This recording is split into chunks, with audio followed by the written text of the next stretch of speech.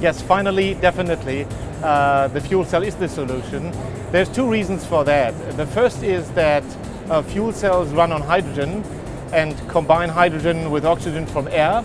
So the only emission out of the exhaust of this uh, vehicle is a pure water vapor. This is the environmental aspect. And then there is another aspect, which is uh, the aspect which we call energy security. And the reason for that is that hydrogen, which is the same commodity all the time, but can be produced from a vast amount of different resources. It can be produced from fossil fuels as it is done today, but it can also be produced from a variety of renewable fuels like uh, re renewable energy sources like uh, wind, like solar power, like hydropower.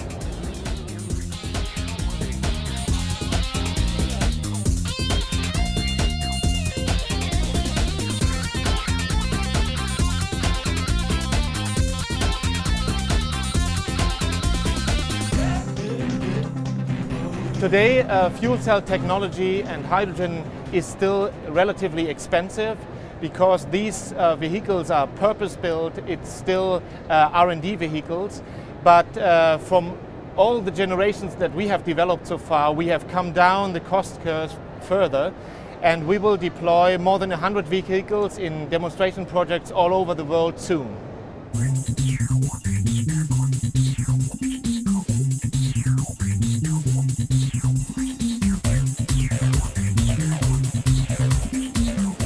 Hydrogen and fuel cell technology, of course, is the long-term solution, but we also have a strategy for the near and mid-term. For the near term, we want to further develop our internal combustion engine technology running on either gasoline or diesel. In the midterm, we, uh, for the midterm, we have developed uh, compressed natural gas vehicles or vehicles with using biofuels like ethanol or E85 I should say, which is a mixture of 85% of ethanol and 15% of gasoline. And also hybrid technology plays an important role. But the final goal, of course, is uh, cars running on hydrogen and using the fuel cell to convert the hydrogen into electrical energy.